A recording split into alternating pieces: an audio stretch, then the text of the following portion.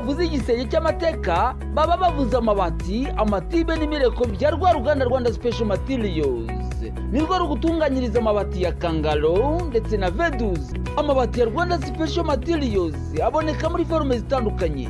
Autoportant tole tuwile tole ondile mu kuramba akaba twibanire amabati yacu urabona mu mabara atandukanye ukihitiramo iri kugwa ku nyota ngaha rero niba ukeneye kurangura cyangwa se gupimisha amabati ahwanye n'igisenge cyawe tugana aho uruganda rukorera. Aha ni cyonga ku muhanda kigali katuna ese wari uzi ko tubafitiye tole purane ndetse n'imisumari y'amabati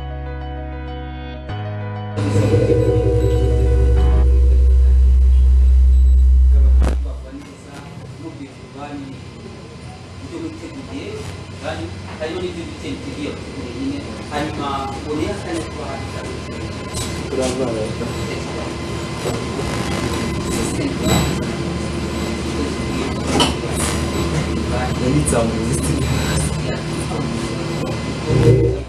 ibyo tuvuga no gukurikira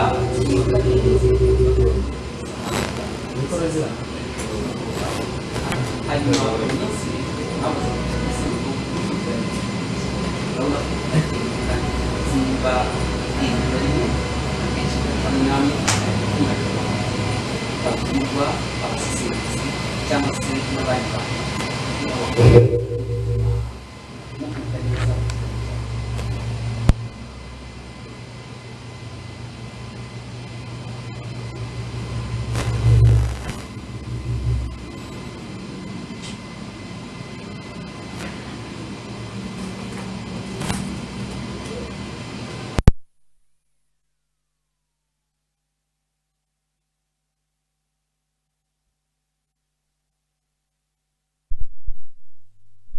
witwa collectif tubakunde. Uraza kutubwira uwo muryango rero ariko wabanza ugasuhuza abadukurikiye Eh, murakoze eh, btn n'abagize iyi kipe yose. Eh, nk'uko mwabivuze nitwa ntibagendera elisa musalim. Eh, ntabwo ndi umuyobozi wa collectif tubakunde. Eh, ahubwo ndi eh, ndi umuyobozi w'abakozi ba collectif tubakunde. Eh, hari umuyobozi w'abakozi n'umuyobozi mu ndimi z'amahanga nibo bita executive director. Mu by'ukuri ni ukuvuga ngo ubundi hari abayobozi b'umuryango muri rusange noneho n'umuy- n'umuyobozi w'abakozi ukeneye ibikorwa bya buri munsi. Ntekereza ko ari we dukunda kwita ngo ni umuyobozi nshingwabikorwa yego mu- runyarwanda Mm. rero nkaba nshubuje mwe mwese abanyarwanda n'abanyarwandakazi inshuti z'u rwanda mwese mudukurikiye kandi muduteze amatwi. Muraho neza. Mbona no kubifuriza umwaka mushya muhire wa bibiri na makumyabiri n'ibiri. Yego. Urakoze cyane. Ah, turi hamwe kandi n'umuntu witwa ah, Lucien harindi ntwari. Lucien harindi ntwari ni umuntu ukiri muto urumva twakiriye ingeri zitandukanye. Isi harindi ntwari ah, aracyari muto rero turaza kuganira nawe atubwire amakuru ye. Niba ku buhanga bw'ibyuma ushobora kumutubonera ari muri studio ya kabiri ya BTN yego. Lucien. Turagusuhuje yego. Bishoboka ko ijwi rye ritari kugera ku, bantu hanyuma pasi ndetse na irene ismail bari ku buhanga bw'ibyuma baraza kudufasha kuzamura ijwi rye kugira ngo nitumugarukaho abadukurikiye baze ku- kubasha kumwumva. Kandi turi hamwe na nashimwe dorcas akaba ari umusemuzi w'ururimi rw'amarenga eh, si ubwa mbere yabaye kuri btn hanyuma nawe turumva twagusuhuza. Dorcas? urakoze cyane. Turi hamwe na irene ismail nari mbivuze ku buhanga bw'ibyuma ndetse na pasi nibo bari kudufasha batuma amajwi ndetse n'amashusho bagera ku bigera ku bantu badukurikiye muri uyu mwanya. Navuga rero ngo mwese mbahaye ikaze muri iki kiganiro hanyuma mbonereho kubabwira ngo niba eh, udukurikiye wowe kuri televiziyo yawe ukaba ushaka gutanga igitekerezo ushobora kutwandikira ubutumwa bugufi tukaza kubusoma cyangwa se tukabusangiza abandi mu mwanya uri bujye kuza. Uyu munsi rero turaza kuganira ku ki? Ni kenshi twagiye dukora ibiganiro eh, bifite aho bihuriye n'ubuzima bw'abantu bafite ubumuga. Yewe ndetse ntitwabura kubabwira ko uyu mwaka tuwurangije BTN TV ari iya mbere mu Rwanda. Ni iya mbere mu Rwanda hamwe n'igikombe twahawe n'inama y'igihugu y'abafite ubumuga ku munsi mpuzamahanga w'abafite ubumuga eh, ku itariki ya gatatu y'ukwezi kwa cumi n'abiri BTN yaragitaye. Rwose murabikwiye Ye, mu biganiro rero eh, twateguye uyu munsi twagiye tuvuga kenshi ku kintu cyitwa uburezi budaheza. Cyane cyane uburezi budaheza abantu bafite ubumuga. Abana badafite ubumuga nabo bakaba mu burezi hamwe n'abandi. Ah, tukaba twashatse kuganira namwe.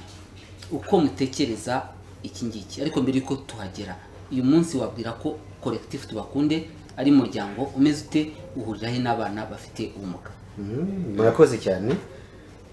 Collectif tubakunde ni impuzamiryango nyarwanda igera kuri makumyabiri n'itandatu kugeza uyu munsi. Eh, akaba ari umuryango wabayeho ahagana muri bibiri na gatanu eh, mu kwezi nk'uku turimo. Ku munsi wa makumyabiri. Eh, ukuboza. Ukaba warabayeho rero kugira ngo byibuze nk'uko nababwiye uhuza imiryango makumyabiri n'itandatu baje gusanga eh, mu by'ukuri umuryango umwe eh, ugize icyo uvuga ijwi ryawo ritakumvikana nk'aho yaba imiryango irenze umwe. Tubakunde rero ni uko yavutse eh, ubwo baje gusanga basanga mu by'ukuri bishyize hamwe eh, bagashyira hamwe imbaraga bagashyira hamwe eh, amajwi kugira ngo bakore ubuvugizi eh, bw'abantu bafite ubumuga bwo mu mutwe cyane cyane abana n'urubyiruko nyine bafite ubwo bumuga. Rero bavuga ati ibyo twishyize hamwe ni bwo eh, ijwi n'ubuhanga n'ubumenyi butandukanye twifitemo nk'abashinze imiryango mito mito hirya no hino mu gihugu ni bwo twaba dushyize hamwe- imbaraga ndetse eh, ku buryo n'icyo twakora cyafatika. Bityo rero igitekerezo kibavamo eh, mu miryango eh, y'abihaye imana n'imiryango yashinzwe n'ababyeyi b'abana bafite ubumuga bwo mu mutwe. Cyane cyane ko babonaga ari cyo gisubizo eh, kugira ngo byibuze babone uburyo bakwita ku burezi bwihariye bw'abo bana babo icyo gihe batari bafite aho kubarerera. Rero eh, ku bushobozi bwabo buke bari bafite n'ubumenyi buciriritse bari bafite bagira iki gitekerezo cyo gushinga tubakunde. Uyu munsi rero tubakunde imaze kuba ubukombe imaze mu by'ukuri kugera ku bintu bitandukanye. Rero bayishinga bari bafite intumbero eh, zitandukanye ariko mbere ya byose bavuga bati byibuze eh, reka turwanye. Ihohoterwa iryo ari ryo ryose risubiza inyuma cyangwa se zigingiza umuntu ufite ubumuga bwo mu mutwe. Cyane cyane ko muri ibyo bihe umuntu ufite ubumuga bwo mu mutwe cyari nk'igitutsi mu muryango nyarwanda ndetse n'umuryango avukamo. Bati noneho eh, byibuze turwanye ihohoterwa turwanye ikinagazwa turwanye ivangura iryo ari ryo ryose hano mu rwanda rivangura abantu bafite ubumuga bwo mu mutwe. Cyane cyane abana n'urubyiruko bafite ubwo bumuga. Bati byibuze eh, ku buryo eh, bamenyekana eh, mu buryo bwemewe n'amategeko mu mibereho yabo se haba mu muhira nabo bagafatwa nk'abantu eh, nk'umwuzuro w'umuntu muri rusange. Batitaye kuvuga ngo uyu ngo afite ubumuga bwo mu mutwe urabizi hari amazina babitaga ngo ni ibigoryi ngo ni ibimara ngo ni ibicucu. Ayo mazina yose eh, abaheza abasigingiza abatesha agaciro ibyo byose ni byo bashakaga mu by'ukuri mbese kuvanaho burundu. Eh, nu- bityo rero eh, bagahita byibuze eh, amategeko nabamenya hariho amategeko abarengera kandi rwose nshimira ababyeyi ndetse na- n'abihaye imana bagiye muri urwo ruhando rwo gukora ubuvugizi abo bantu bafite ubumuga bwo mu mutwe hari ikimaze gukorwa kandi gifatika. Haba ku ruhare rwa tubakunde ndetse no muri leta muri rusange. Ngayo nguko ngiye Ah, uvuze ibyo cyangwa ushaka kubaza cya mbere iyo miryango iyo miryango yose uko muyivuze igizwe n'imiryango y'abihayimana ndetse n'iy'ababyeyi gusa cyangwa n'indi igenda ivuka ifite ibyo ikora ku buzima bw'abafite ubumuga na yo ishobora ku urakoze ni ukuvuga ngo uko umwaka utashye n'undi ukaza hari indi igenda ivuka. Eh, ariko bigitangira bigitangira ni imiryango y'abihaye imana eh, ndetse n'imiryango yakozwe n'ababyeyi bafite abo bana bafite ubwo bumuga bwo mu mutwe. Kugira ngo byibuze barebe uburyo ki ba- babaha uburezi uburezi bwihariye bwabo. Kuko abana bafite ubumuga bwo mu mutwe mu by'ukuri baba bafite umwihariko udasanzwe. Iyo bavuze abafite ubumuga ni byo koko buri bumuga ubwo ari bwo bwose bufite umwihariko wabwo ariko abafite ubumuga bwo mu mutwe bwo bafite umwihariko udasanzwe. Noneho ugasanga mu rwanda icyo gihe nta gahunda zari zihari nta n'uburyo bwari buhari kugira ngo abo banyarwanda n'abanyarwandakazi bitabweho nk'abandi. Noneho ababyeyi ku mbaraga nke bari bafite ndavuga imbaraga faranga z'ubushobozi faranga bakora ibigo. Ibyo bita amasantere cyangwa se centers ndetse hari n'abageze kure bashyiraho amashuri eh, atanga inyigisho zihariye special schools. Kuri abo bana n'urubyiruko bafite ubumuga bwo mu mutwe. Birumvikana basaga n'aho bari kwiyaranja kuko nta hantu wabonaga basaga n'abava mu bumenyi cyangwa se ubushobozi. Ariko byibuze igikuru cyari kirimo ni ubwo bushake n'ubwitange bari bafite. Barabikora rero ubwo ni bwo babonye mu by'ukuri eh, buri kigo cyangwa se organization cyangwa se umuryango umwe umwe utihagije noneho bamaze kumenyana baravuga bati, "Uwa- ariko wa- wa- wa- wari mu gitekerezo bita tubakunde ku buryo twahuriza hamwe ijwi ryacu tukaba ijwi ry'abatagira ijwi the voice of the voiceless Ijwi mu- ry'abatagira ijwi. mu ndimi z'amahanga. Nuko rero tubakunde yavutse mu by'ukuri igamije ibyo byose naje kukubwira mu kanya gashize. Wenda kugira ngo gasubize wihuse narivuze ngo uyu munsi indi miryango ishobora kwinjiramo cyangwa eh, ko hari umuryango ushobora gusanga ufite nawo ibikorwa bifite aho bihuriye n'ibyo bafite ubumuga ariko bavuga ati nitujya kwinjiramo birasaba ko tuba turi umuryango w'ababyeyi cyangwa se tukaba turi umuryango oya si ngombwa uri umuryango wabyo cyangwa se w'abihaye imana Imiryango irafunguye. imiryango irafunguye. Urakoze cyane. Eh, ubundi kanyenyeri ikindi kimwe gusa bisaba kuba eh, ufite ibyangombwa. Byo gukorera mu rwanda. Ni ukuvuga ngo weremewe wemewe na rgb yego. Yeah. Ah, mwari muvuze rero ko mu nshingano cyangwa mu muhamagaro ababyeyi bajya gushinga collectif tubakunde bavuga bati tuba ijwi ry'udafite ijwi. Ariko uvuga ko ku ifatizo cyangwa ku icyari imbere ari ukuremera aba bana uburezi bwihariye. Uburezi bwihariye uyu munsi ni bwo mukivuga cyangwa muravuga muti hari ukundi byakorwa? Mu by'ukuri ibyo eh, babikoze nka inisiyative zabo cyangwa se nk- nk- nk- nk'igitekerezo cyari kibaturutsemo. Ni byiza. Byari byiza. Ariko uyu munsi aho tugeze nk'igihugu nk'abanyarwanda eh, tumaze kwiyubaka bihagije. Rero ntabwo tukivuga cyane uburezi bwihariye. Ntabwo tuvuga uburezi budaheza. Mu ndimi z'amahanga inclusive education. Hahandi abana bafite ubumuga bwo mu mutwe abana bafite ubumuga bundi butari bwo mu mutwe butandukanye bigana.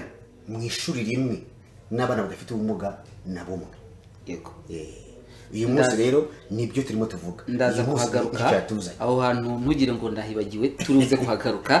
Ah, ariko tutaragaruka kureba uburezi budaheza n'impamvu yabwo. Umuntu ashobora kwiga ariko ubundi bavuze ubumuga bwo mu mutwe. Baba bavuze iki? Ese umuntu ufite ubumuga bwo mu mutwe atandukaniye he n'umurwayi wo mu mutwe? Ah. Eh, hanyuma ubumuga bwo mu mutwe buri mu byihe byiciro eh, ku buryo umuntu yareba umwana afite uwo baturanye cyangwa se uwo babana akavuga ati uyu mwana afite ubumuga bwo mu mutwe nawe ari muri bariya bari kuvugwa murakoze cyane. Eh, mbere ya byose kamere ku bitandukanyirizo by'ubumuga n'uburwayi byo mu mutwe. Eh, uburwayi buravurwa bugakira. Ariko ubumuga bwo ntabwo buvurwa ngo bukire nitwibanire ariko icyo dukora dufasha umuntu ufite ubumuga ndavuga ubwo ari bwo bwose n'ubwo n'ubwo mu mutwe burimo. Yego. Ni ukumufasha kubaho na bwa bumuga afite ariko hakagira imbogamizi nyinshi zikurwaho. Biturutse ku- ku- ku kumwubakira ubushobozi nk'umuntu. Ku giti cye biturutse nkatwe sosiyete cyangwa se umuryango atuyemo kuvanaho izo nzitizi bityo ibibazo ijana yakagombye kugira mu buzima bwe iyo izo nzitizi ziba zita- zitavuyeho bikavanwaho byibuze agasigarana nk'ibibazo nka makumyabiri mu ijana. Urumva? Byakunda bya- bigashiraho ntabwo byashira kuko buri gihe ubumuga aba- akibufite ariko twebwe ntitubakunde n'indi miryango mu rwanda eh, iri muri mu by'abafite ubumuga tuvuga tuti ubumuga uko tubuvuga. Ntabwo ari ukukure ntabwo ari ukumbona wenda ntafite Amaso. eh, ibi mwita ngo ni amaso. Ni byo twita amaso. Eh, burya amaso ntabwo ari ibi ngibi. Ibi ni ibikoresho bituma amaso Ako- akora. Eh, ngo- ngo ngo ubone ntabifite ngo uhite wumva ko ufite ubumuga bwo kutabona. Ntabwo ari cyo kugira ngo umenye ko ufite ubumuga bwo kutabona hari ibyo ugomba kubanza kunyereka ngo urebe ko ntabibona. Kuko ushobora kwibwira ko ntafite ibi ngibi mwita amaso ngo simbona kandi mbona no kukurenza ubanza urebe koko niba unyereka uti iki n'iki sinkibona ubone kwemeza ngo koko ufite ubumuga bwo kutabona wihita umbona numbona ngo uhite umbona mu bumuga umbonyemo. Oya. Twe turavuga turi ubumuga ni cyo bita impairment kongeraho barriers. Ni ukuvuga iki?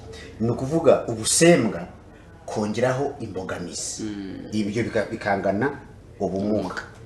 Ni ukuvuga iki? Ufite ubusembwa ubwo busembwa ni ukuvuga iki? Ntafite ikiganza sibyo? Ntafite ikiganza ubwo ni ubusembwa ntabwo ari ubumuga ni- nibura ari ubumuga. Buzaba ubumuga ari uko ntashoboye guterura wenda iyi karamu nk'uko bikwiye. Ariko nshyizeho ikindi gikoresho cyasimbura cya kiganza cyanjye nkashobora guterura ikaramu nkandika. Ibyo bumuga buba buvuyeho ariko wenda asigaranye iki ubusembwa. Eh, eh, eh, twebwe niko tuvuga ubumuga. Twari tugeze rero ku bumuga bwo mu mutwe ubumuga bwo mu mutwe rero. Ni uburwayi bwo mu mutwe. Navuze ko uburwayi bwo mu mutwe bugakira ubumuga bwo mu mutwe ubwo twibanire kabone n'ubwo imbogamizi nyinshi zishobora gukurwaho ariko ubumuga bwo bugumaho. Ubumuga bwo mu mutwe rero ni hahandi umuntu ufite ubwo bumuga eh, aba afite ibibazo by'imitekerereze by'imikorere n'imikoranire n'abandi. Biturutse ku kwangirika kwa kamwe cyangwa se twinshi mu ngirangingo z'ubwonko. Ibyo eh, iyo hagize ingirangingo imwe mu bwonko yangirika byanga bikuna mu mikorere no mu mikoranire yanjye n'abandi hari ibiba bitagenda neza. Kuko inge- mu ngirangingo uko zitandukanye z'ubwonko ntabwo zangirikira rimwe kandi ntabwo ari zose zangi- zangi- zangirika. Hari imwe yangirika wenda ituma ukuboko kwanjye kudakora ntashobora gukora gukoresha neza uku- uku- ukuboko cyangwa se ukuguru cyangwa se akaba ingirangingo yangirika ishobora gutuma ishobora gufata mu mutwe kandi nkamara igihe nkibyibuka ikaba yarangiritse n'izi- n'izi- n'izi- n'izindi zindi zigize ubwonko zangiritse. Ku buryo ubona uvuga uti byanga bikunda umuntu ufite imyaka icumi yakagombye kuba azi izina rye. None ukabona umuntu ufite imyaka icumi ntabwo azi izina rye. Kandi buri munsi araribwirwa mu kanya gato karimubwira akarivuga ariko mu minota ibiri akaba yaryibaye. Rikaba rirahanaguritse mu bwonko. Ubwo ni ukuvuga iki? Ni ingirangingo ituma umuntu afata mu mutwe iba yaragize agisida cyangwa se yarangiritse ku mpamvu zitandukanye mu buzima bw'umuntu. Icyo gihe rero ni aho ngaho tuba tuyu umuntu ashobora kuba afite ubumuga bwo mu mutwe. None akaba asigaye ikibazo ese ubwo bumuga bwo mu mutwe ni ubuhe? Ni cyo nagiye kubaza. Eh, eh, mu rwanda rero eh, tubona ubumuga bwo mu mutwe bw'ibyiciro nka bitatu ni bwo dukunze kubona. Ubwa mbere ni ubumuga bita kajarajaza. Kajarajaza. Mu ndimi z'amahanga nizo bi- bita autisme. Eh, na yo ifitemo ibice bitatu. Iyo rero kajarajaza ni hahandi umuntu ufite ubwo bumuga mu by'ukuri arangwa n'imyitwarire ye bwite. Itamenyerewe n'abantu muri rusange n'abantu abamo. Mukaba muri muri ibi ngibi nawe yakagombye kuba ari kumwe namwe ariko ugasanga we yibereye mu bindi. Nta n'aho bihuriye n'ibyo murimo. Eh, ugasanga asa n'aho ari mu isi ye. Wamureba ugasanga mu by'ukuri ntabwo muhuje ibyo murimo. Kandi yakagombye kuba ari kumwe namwe ako kanya. Ugasanga bari mu bindi. Niba ari nk'umwana cyangwa se ingimbi ugasanga akina wenyine aho gukina n'abandi. Ugasanga ari mu tuntu twe wenyine yumva asobanukiwe wowe wamureba ugasanga ntidusobanutse. Ukabona ntuzi ibyo arimo. Kuba ari gusimbuka ugasanga ibyo ari gusimbuka mu biki yurira ameza aha urugo urugo ndava korotire gusa ashaka kuyisimbuka kandi wari ku mireshyi ugasanga ni nka metero nk'umunani yavunika ibyo we ntibimureba mbese ugasanga afite imyitwarire idasanzwe. Ubwo ni bumwe. Eh, akagira ikibazo cy'iki cya communication? Kuvugana n'abantu. Ugasanga icyo ni ikibazo. Ni byinshi ni byinshi bimuranga ariko muri rusange mbi- mbihiniye hamwe eh, mu ncamake aba afite imyitwarire idasanzwe. Iyo ni autism. Eh, cyangwa se kajarajaza mu mu runyarwanda. Hanyuma hakaza ubundi buma mu mutwe mu ndimi z'amahanga bita down syndrome cyangwa se trisomie 21 eh, mu ndimi z'amahanga mu- runyarwanda rero niyo ubumuga bita intuzura. Intuzura. Eh, intuzura. Ubwo bumuga rero eh, umuntu uba ufite eh, nawe agira icyo bita mu ndimi z'amahanga short memory. Ni ukuvuga ngo yibagirwa vuba cyane bishoboka.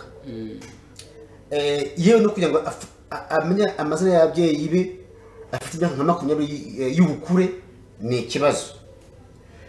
Ashobora kumwibuka amubonye ariko yaba atari kumwe nawe izina rye akaryibagirwa ikindi kibaranga bafite imitwe mito kandi burungushuye imeze ukuntu n'amaso ateye mu buryo budasanzwe asa n'aho ameze gutya.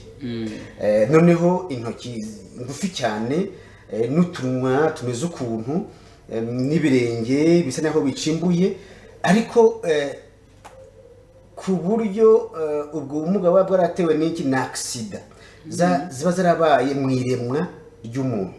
Urabona mu iremwa ry'umuntu umugore azana ingirangingo makumyabiri n'eshatu n'umugabo akazana ingingo makumyabiri n'eshatu. Wazitegeza ka mirongo ine n'esheshatu.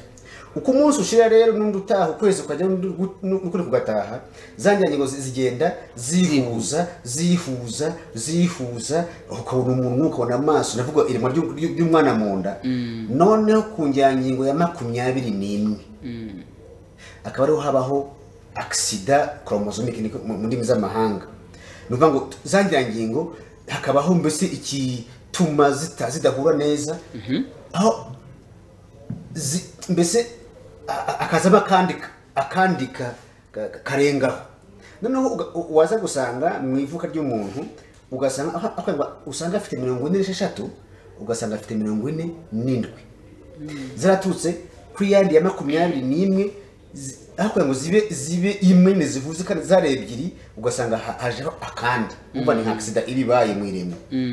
Eh, abo ba- ariko si iyo ngiyo gusa ibaho habaho na tezomitreze na sisi ariko abo ngabo akenshi bamwe bapfa baki- bakivuka abandi bagapfa bamaze amezi makeya ku isi. Niyo mpamvu mu bigo bya- kutse bakunde utabasangamo. Niyo mpamvu nyine abangaba dukunze guhura nabo batizoma ivente cyangwa se impuzura nibo dukunze kujya mu bigo byacu bitandukanye. Abo bantu rero nabo eh, kuko niba adashobora eh, gufata izina rye ngo mubyuti mu kanya eh, nyuma y'isaha ukora ibi n'ibi ngo abyumve abigumane isaha n'ishira aze kubikora mu by'ukuri iki gihe tubwita nk'ubumuga bwo mu mutwe. Kandi ni- nyine ni ubumuga kubyita ni ubumuga bwo mu mutwe. None ubundi bwa gatatu dukunze guhura nabwo mu buzima bwa buri munsi hano mu rwanda eh, ni ubundi bumuga bita kajegeza. Kajegeza tuvuye kuri kajarajaza? Intuzura. Tugeze kuri kajegeza. Kajegeza. Kajegeza rero mu ndimi z'amahanga niyo bita cerebral palsy cyangwa se infirmité motrice cerebrale. Eh, ni ukuvuga iki? Eh, ni ubumuga eh, ariko bano bantu ba- ba- b'abasipi cyangwa se ba- ba- ba- b'abayimu cyangwa se ba- b'abakajegeza ntabwo bose baba baba bafite ubumuga bwo mu mutwe. Niyo mpamvu muri tubakunde eh, tugomba gukora isuzuma. By'ubwonko kugira ngo twemeze ko uyu mwana cyangwa se uru rubyiruko koko bafite ubumuga bwo mu mutwe. Eh, icyo twakwita cognitive eh, assessment mu ndimi z'amahanga. Kumenya ko ubushobozi bw'ubwonko mu mitekerereze bungana bute hari uko bibarwa mbese ni ugusuzuma ubushobozi bw'ubwonko mu mitekerereze ya gihanga ibyo turabibara noneho kamara kuyibara tuba tubyibuze uyu muntu koko kuko agiye munsi y'igipimo gikenewe tukemeza tuti afite ubumuga bwo mu mutwe kuri kino kigero kuko na- na- nabwo bugenda butandukana bugenda butandukana ni akantu rero ko mu bwonko kaba karakomeretse bigatuma ni- niyo mpamvu abafaransa bakise infirmité motrice cerebrale ni ukuvuga ngo ni agisida karane ni ni agisida eh, y'ubwonko iba yarabaye noneho bigatuma kamwe mu ngirangingo z'ubwonko gashinzwe imikorere y'ingingo n'imikoranire y'ingingo kangirika. Yego. Eh, hari igihe kakagera no ku mikorere y'u- y'ubuhanga cognitive eh, part. Dushobora kuruka gatoya? Yego nta kibazo. Kadusabe pasi yaduha akaruhuko gatoya hanyuma tugaruke. Eh, mwakoze cyane. Iyo bavuze igisenge cy'amateka baba bavuze amabati amatibe n'imireko bya rwa ruganda rwanda special materials. Ni rwo rugutunganyiriza amabati ya kangaro ndetse na veduzi amabati ya rwanda special materials aboneka muri forume zitandukanye.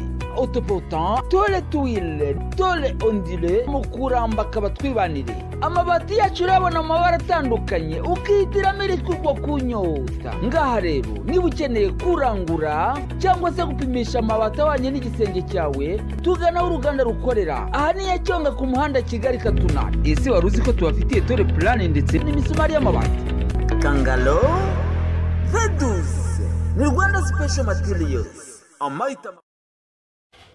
Aha hanyuma numva twakomeza rero wari utubwiye ko aba bantu ba kajegeza bo bagira umwihariko bisaba ariko ko mubanza gupima mukareba uko bameze. Yego. Noneho iyo tumaze gupima ni bwo twemba dufitiye umuntu koko afite ubumuga bwo mu mutwe kuri kino kigero runaka. Ibyo rero ni ukuvuga ngo ubwo ni bwo bumuga bwo mu mutwe dukunze guhura nabwo kenshi. Hano Eh, twari tugerageje kwihuta kugira ngo tugere ku ntego yacu. Muri gahunda cyangwa mu ntego za tubakunde harimo kureba uburezi bwihariye. Ariko uyu munsi umuntu aribaza ati mbese ko mu rwanda hari amabwiriza hari umurongo w'uko abana bose barererwa mu miryango? Ariko ugasanga hari ibiri ngombwa ko abana bafite ubumuga bwo mu mutwe bashobora kuba mu bigo byihariye bitewe n'imiterere y'ubumuga. Biba bikiri ngombwa cyangwa umwana wese yashobora kuva mu kigo cyihariye akabana n'abandi akigana n'abandi. Eh, ntari ku bana no kwigana. Umuntu ufite ubumuga bwo mu mutwe ubwo ari bwo bwose. Yenda bamwita ngo ni porofu mbese bumwe bukabije rwose. Ubundi akeneye kuba kuba mu muryango wamubyaye kuko akeneye urukundo rwa kibyeyi. Akeneye kwerekwa ko ari umwana nk'abandi. Akeneye gusekerwa. Akeneye mbese ibyo abandi bana badafite ubumuga bakeneye nawe arabikeneye ko ni umuntu wuzuye mu mwuzuro wa kimuntu. Tutagiye ngo ubumenyi ngo iki ni umuntu kuko arababara akarira yanezerwa agaseka. Ubundi ni umuntu nyamuntu nawe ibyo byose arabikeneye. Ariko a- ahanini usanga uwo muryango yakagombye kubamo eh, nta bumenyi bafite nta n'ubushobozi bafite bwo kumuha serivisi akeneye. Bityo rero ugasanga nubwo hari gahunda y'uko umwana arererwa mu muryango ni byo? Nawe ndabyemera ijana ku rindi. Ariko ntabwo turajya ku ku rugero twifuza kugeraho byibuze ndavuga nk'abanyarwanda muri rusange kugira ngo byibuze uwo mwana ufite eh, ubumuga bwo mu mutwe ukeneye kwitabwaho bidasanzwe no guhabwa serivisi zidasanzwe ngo azibone hafi bimwegereye Eh, urugero naguha n'ibyo- bigo biri sipesiyare mu rwanda ni bikeya. Hari n'uturere mu rwanda tutarimo na kimwe. None se uwo mwana niba muvanye mu kigo wenda tuvuge hano hano mu- hano mu mujyi wa kigali eh, wenda nk'inshuti z'abakene. Ukamujyana wenda wenda mu karere ka ka- ka burera ariko kiriyo kimwe eh, ndakizi. Wenda mu- ako karere nta kigo na kimwe gihari ababyeyi b'uwo mwana ntibabonye amahugurwa ngo bamwitaho kuko akeneye serivisi zihariye nyine. Haba mu kurya haba mu kurerwa haba mu gufashwa mu buryo ubwo ari bwo bwose mu buzima bwa buri munsi bisaba ubwo bumenyi. Rero yaba abanyarwanda twese dufite ubwo bumenyi n'ubuhanga bwo kwita ku bana n'urubyiruko bafite ubwo bumuga bwo mu mutwe cyangwa se abantu ba- bakuru muri rusange bafite ubwo bumuga bwo mu- mutwe. Bya- byakabaye rwose ijana ku rindi. Byifuzwa bose bakaba mu miryango. Ariko izo serivisi wenda nk'igororangingo ese n'umuvana mu kigo cyamagurira igororangingo ngo adahinamirana ukamujyana mu muryango uri kure y'izo serivisi uwo mwana azabaho ate? Ni ikintu ki- ki- kigomba kubakwa byibuze kugira ngo byibuze izo serivisi bakeneye bazibone hafi y'imiryango babarizwamo. Ibyo tubigezeho. Abana bose baba mu miryango nta kibazo. Yego. Twari rero ku kijyanye n'uburezi budaheza. Mu gufata uyu mwana ufite ubumuga bwo mu mutwe akaba ashobora kwiga ariko akigana n'abandi. Ese birashoboka? Birashoboka cyane. Birashoboka cyane n'ubu. Tumaze iminsi duhugura abayobozi b'inzego z'ibanze abarimu ababyeyi ntabwo bari bumva ese ubumuga bwo mu mutwe ni iki? Benshi mu by'ukuri ntabwo ntabwo babifite ubwo bumenyi. Eh, bumva ko umwana ufite ubumuga bwo mu mutwe ntacyo ashoboye. Baracyari muri bya bihe bya kera ngo ni ibigoryi ngo ni ibimara ntibishoboye ibintu nk'ibyo ngibyo. Iyo iyo iyo myumvire rero abenshi sivuze ngo ni bose baracyayifite kandi umwana ufite ubumuga bwo mu mutwe ashoboye kwigana n'abandi rwose. Icyo akora benshi baba bashaka ngo niba yiga tuvuge mu mwaka wa mbere w'amashuri abanza a- ageze kuhagera ko agomba kwiga porogaramu nk'iy'abandi bana basanzwe bada- badafite ubumuga. Oya. Twebwe icyo twifuza ko umuntu ufite ubumuga mu mutwe ntabwo ari uko amenya imibare. Kuko n'abana badafite ubumuga mu buryo bugaragara. Ntabwo bose bamenya imibare. Bose ntabwo bamenya icyongereza. Bose ntabwo bamenya igifaransa. Aho ushobora gusanga ata- atazi imibare ariko azi fizike. Atazi fizike bazi indimi. Kandi uwo nguwo ni wa mwana twavuga ngo nta bumuga afite. N'abana bafite ubumuga mu mutwe rero biga ibyo bashoboye. Biga ibiri kuri gahunda n'ibitari kuri gahunda. Dushaka ngo abo bana badafite ubumuga ariko babatinyuke. Ntibabite ngo ni abasazi nk'uko bakunze kubivuga. Ntibabite ngo ni ibinyamaswa. Mm, mbese ayo mazina yose kubikanga bitewe n'uko ba- babona umwana ateye cyangwa se aremetse. Iyo bigana rero ba- baramutinyuka bamugira inshuti nawe akaba inshuti zabo. Ibyo burya nawe aba ari kwiga imibanire n'imikorere n'imikoranire n'abandi. Twe ni byo dushaka ko amenya mu buzima.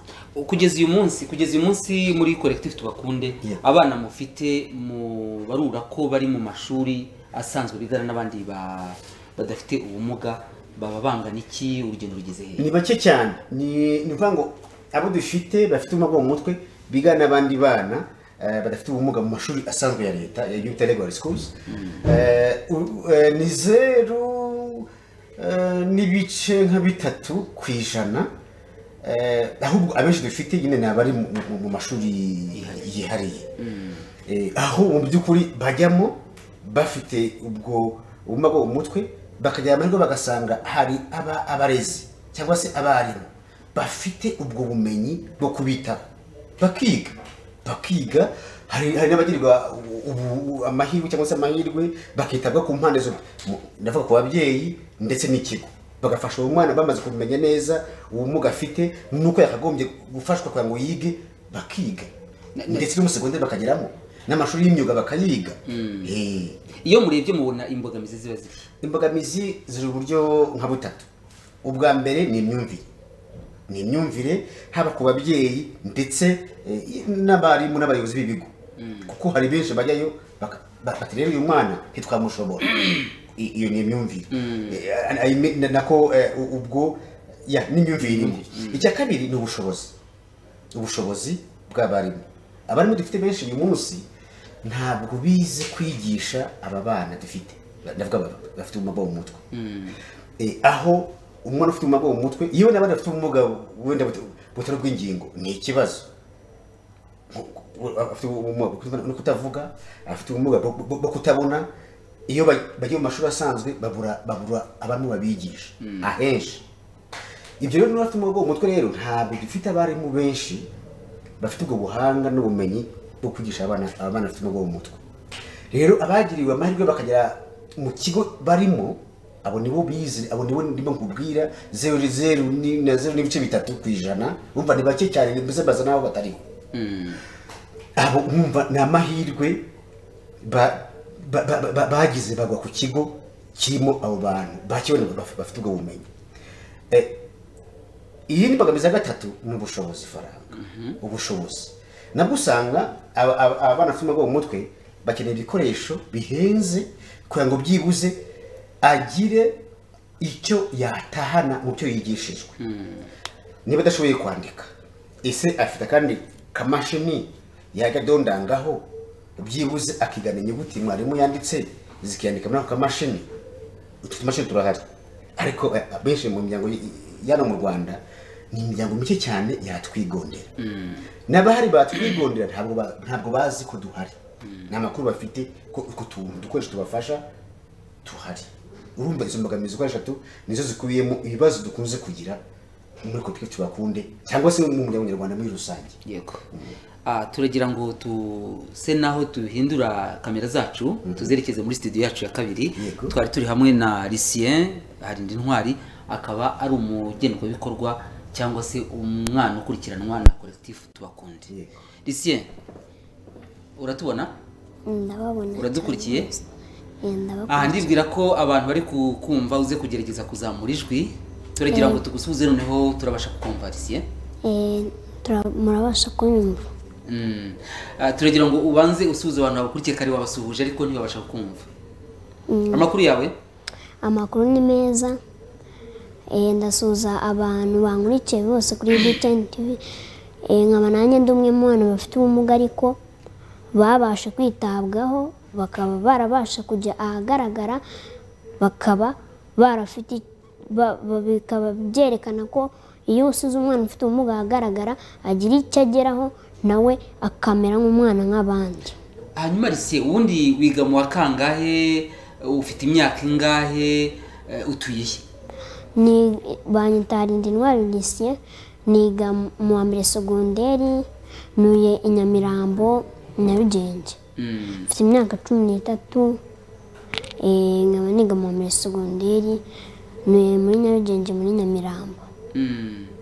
hanyuma mu kwiga kwawe rero wigana n'abandi bana badafite ubumuga mukaba mukabana mugakina bisanzwe ni tukigana tukabana tugakina bisanzwe ariko byaturutse kuko ababyeyi banjye bafatanyije n'imiryango iturera nka collective tubakunde babashije kutwitaho batubasha kudushyira ahagaragara tubasha kugenda tukitwigana n'abandi bisanzwe nta kibazo ubundi natwe bakadukurikirana yuko twigana n'abandi bana ntibakomeze kubona kutubonamo ikindi kintu bavuga ati uriya ntashoboye ibintu nk'ibyo ngibyo.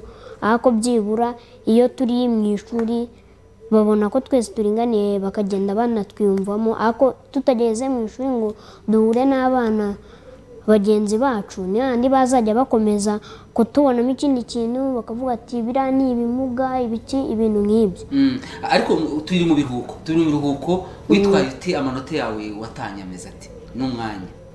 Eh, ubu ngubu nabaye uwa cumi na bane ubundi nari nsanzwe mu wa mbere hagati y'uwa mbere n'uwa kabiri ariko ni ibibazo nyine byari byavutse byo ku ishuri ngenda ku ishuri nyererewe kubera kubura ibintu bijyanye na minerivare yo gutangira. Eh, ubwo nabaye uwa cumi na bane ngira amanota mirongo itandatu n'abiri gutyo n'ibice. Ubwo bivuze ko igihembwe gitaha ushobora Eh, kuzagaruka. nzisubiraho noneho ngaruke ku mwanya wanjye n'undi nari nsanzwemo Mm. hanyuma twari tuvuze ku bijyanye n'imyumvire y'ababyeyi bamwe na bamwe bumva ko umwana ufite ubumuga cyane cyane ubumuga bwo mu mutwe ashobora kuba ntacyo azashobora kumva ko atari ngombwa kumujyana ku ishuri. Tuvuga ku bibazo by'imyumvire y'abarezi ku bigo by'amashuri abana mwigana nabo. Bo wasanze baba bameze bate? Hanyuma aho bagenda bagaragarizwa yuko ushoboye bahindura imyumvire gute? Eh, murakoze. Mu by'ukuri abana twigana ntago bari banazi yuko naba mfite ikibazo cy'ubumuga bwo mu mutwe. Gusa byagiye bibatangaza bamwe na bamwe n'abandi ntibabizi ariko iyo tubisize ahagaragara bibasha gutuma n'ufite uwe atamushyira ahagaragara bose bibasha gutuma babashyira ahagaragara kugira ngo bajye mu mashuri bigane n'abandi kandi tukaba dukomeza no gusaba leta n'ibigo bi- bitandukanye bijye byakira n'abana bamugaye nimba nta kintu bashoboye ariko bajya mu ishuri bakicarana n'abandi na byo hari ibyo baba bashoboye. Mm. ese hari akantu wari uvuze Lucien? Uravuga ngo hari ukuntu abantu bakubonaga wenda bakabona ingano yawe gusa bakavuga ko ari umwana utakuze ngo agire ikivumba. Ariko ukavuga uti kuba umuntu afite ubumuga bwo mu mutwe ntabwo umuntu wese ahita abibona. Eh, ubumuga bwawe ubundi bushingiye hehe? Ubumuga bwanjye ahantu bushingiye ni ubu- ubumuga bwo kudakura cyane nk'abandi no mu mutwe eh, n'ubumuga bwo mu mutwe. Ariko iyo bwitaweho neza ukajya mu bigo bi- bi- bibakwiriye ntabwo bigaragara. Ntabwo bigaragara. Kandi n'ikimenyimenyi uwa mbere? Eh, uratsinda nk'abandi. Iki biba bigoye ni ubushobozi hamwe n'imyumvire y'ababyeyi batandukanye. Mm.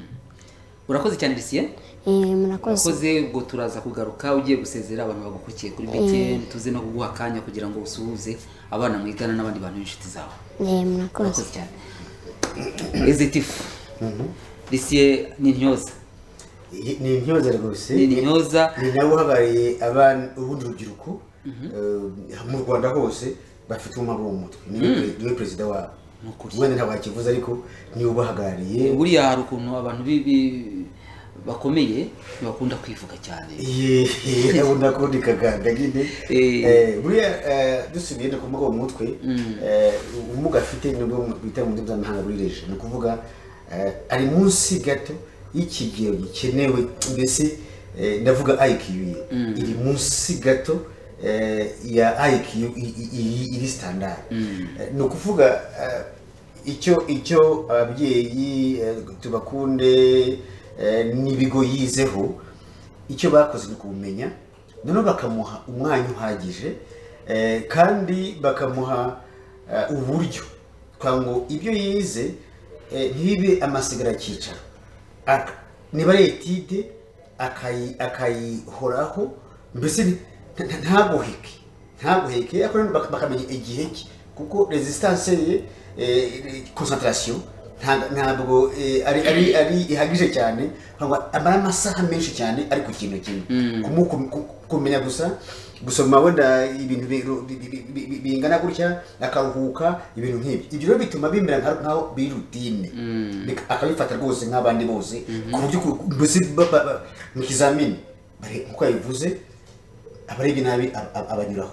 Arabarusha rwose. Kuko yitaweho haba mu rugo ku babyeyi haba mu bigo yizeho eh, mbese ubufasha bwose bukenewe? Yarabubonye yego. Ndagira ngo duse naho tujya kugana ku musozo. Hari ibyo mwavuze mu bigaragaza nk'imbogamizi eh, haba ku ruhande rw'ababyeyi haba ku bushobozi bw'abarimu ndetse n'ubushobozi faranga na cyo mwakivuze ndetse n'imyumvire y'abayobozi b'ibigo n'ibindi nk'ibyo ngibyo. Genda ndongeraho ngo nuvuga ku babyeyi ndaza kuvuga ko ari umuryango nyarwanda muri rusange. Kuko umuntu ashobora kuba atari umubyeyi ariko yaba ari umuturanyi mwiza yahindura imyumvire agafasha wa mwana ni cyo Eh, turagira ngo mu- mu- mutange inama. Inama n'icyo wumva cyakorwa haba ku mpande zose ku bayobozi b'ibigo inzego z'ubuyobozi bw'igihugu ndetse no ku bakurikiye BTN nk'abaturage Eh, ndahera ku bushorishori bw'igihugu ni ukuvuga aba- abatekereza abadufite mu nshingano eh, ndavuga abanya- aba- abanyagihugu. Cyane cyane nerekeza nyine kuri minedike ifite ubu- uburezi mu- nshingano zayo. Eh, mu by'ukuri ubu ngubu ntuza irimo ikoreshwa karikiramu irimo ikoreshwa. Nta ndavuga eh, cbc eh, mbese integanyanyigisho uyu munsi irimo ikoreshwa. Ntabwo iteganya eh, uko umwana urimo wigana n'abandi badafite ubumuga cyane cyane bwo mu mutwe yakwigishwa. Ni ukuvuga ngo ibyo yakagombye kwigishwa. Ah, ikindi cya kabiri eh, wenda sinzi niba ari ubushobozi cyangwa se wenda batabishyira mu- mu- mu- muri gahunda Ah, ubundi uko biteganijwe iyo ishuri ririmo eh, abana bafite ubumuga mu mutwe hagomba kubaho undi mwarimu ufatikanya n'umwarimu wari usanzwe kugira ngo nyine ni- ni byo nakubwiraga bitabweho mu buryo bukwiye. Mwarimu usanzwe nyine yigishe amasomo asanzwe none wa mwarimu umufasha yite kuri ba bandi kuko buri gihe bakunze kuza inyuma y'abandi mu myumvire. Ndavuga mu gufata ibintu mu gushyikira ibyo babahaye. ibyo ibyo bigishijwe. Ibyo rero bikaba bikaba biza kongera navuga ngo umubare w'abarimu mu ishuri. Eh, wenda na mikoro y'igihugu na yo azamo birumvikana ko bije iziyongera ku bw'icyo. Nacyo byibuze niba batatangirira eh, hose rimwe bakagira amashuri amwe koko navuga ngo bandebereho y'itegererezo ariko iyo ntambwe igaterwa iyo ntambwe igatera. Kugeza ubu nta ntambwe biri. Eh, mu by'ukuri ah, aho biri bita bafite inclusive schools. Ni babandi b'ingingo. Kuko bubatse ah, twa tuyira twa- twagenda mu tugare. Bakuyeho inzitizi Eh, ziri fiziki. kuko bamanuye ibibaho bikagera hasi. Babona umwana umwe ufite ubumuga bw'ingingo bati turi inclusive. school. Ariko twavuga inclusive school ni ukuvuga ko ufite abarimu. Umwana ufite ubumuga bwo kutumva no kutavuga nakugera imbere uramwigisha. Umwana umwana ufite ubumuga bwo kutabona nakugera imbere uramwigisha. Ese mu- muri iryo shuri harimo imashini zandika ya nyandiko y'abatabona burayi ku buryo note ze note mwarimu yatanze azibona. Icyo ni kimwe. Eh, icya kabiri aba- ababyeyi mbere ya byose. Ababyeyi ku burezi budaheza nibo nkingi ya mwamba bareke abana nk'uko Rusena yabivuze bibahisha mu byumba byabo ngo babakingirane. Bareke bajye hanze ahagaragara ndetse babajyane mu mashuri. Asanzwe. Apana amashuri yihariye gusa. Asanzwe. Noneho bigaragare ko byibuze icyo kigo kidafite abarimu ba- bafite ubumenyi. Noneho hajyaho gahunda yo kubahugura. Ko tubakunde turabahugura. Tugura abarimu mu- mu- muri metodi sipesiyali yo kwigisha abo bana. Eh, ikindi cya kabiri abayobozi mu- muri rusange b'inzego z'ibanze. Bahwiturire umunyarwanda n'ababyeyi barimo. Aba- a- bareke abana bafite ubumuga bwose ubwo mutwe buri- burimo bajye ku ishuri. Baba- baba- babahe ibibagenewe n'ibyo bakwiye kugira ngo bigane n'abandi. Reka tugushimire rero tugushimire elisamu ntibanyendera ukaba ari umuyobozi nshingwabikorwa wa kolekitifu tubakunde yego. Nshimire lisien harindi ntwari ukaba uri umuntu umujene uhagarariye abandi bajene bakiri bato bafite ubumuga bwo mu mutwe cyane cyane abari mu mashuri. Mu gihugu bose. N'abandi bose. Turagushimiye ariko twari twakwemereye ko uza gutanga intashyo cyane cyane iz'umwaka mushya. Lisien niba pasi yadufasha ashobora kubona muri studio ya kabiri ukaguha akanya kugira ngo usuhuze inshuti zawe hanyuma uzihe intashyo kugira ngo dusoze. Eh, murakoze. Ndasuhuza inshuti zanjye izo twigana n'urubyiruko muri rusange n'abafite ubumuga nabo bose nabo kuko n'abana nk'abandi nkaba mbatashye umwaka mushya ariko dukomeza kuzirikana kwibuka ko abana bafite ubumuga natwe dushoboye dufite icyo tumaze kandi tutagomba guhezwa tugatangirana umwaka mushya tumeze nk'abandi bana murakoze urakoze cyane murakoze. Hanyuma wowe wadukurikiye kuri btn tv tugushimire tukubwire ngo wakoze kubana natwe muri iki kiganiro ikiganiro tuzi ko mukunda muri benshi hanyuma kandi mukuyemo isomo rikomeye nzi neza ko uko tugarutse hari ikintu gishya mushobora kwiga. Umwana ufite ubumuga bwo mu mutwe ashobora kwiga akigana n'abandi. Igisabwa ni iki? Ni uko wowe mubyeyi umuturanyi we eh, umuyobozi we mu nzego z'ibanze ukanguka ukamenya ko umwanya w'uwo mwana uhari. Mujyane mu ishuri. Ishuri risanzwe rikwegereye hanyuma namara kugerayo bikagaragara ko hari ikibazo impuza izavuga. Hanyuma ubushobozi butangwe bwubakwe bwaba ubwa korekitifu tubakunde cyangwa se indi miryango ifite aho ihuriye n'abafite ubumuga. Njye rero yewe iki kiganiro kandi ubakunda cyane ndi jean de dieu byukusenge. Reka mbabwire ngo naho ubutaha. Bayi bayi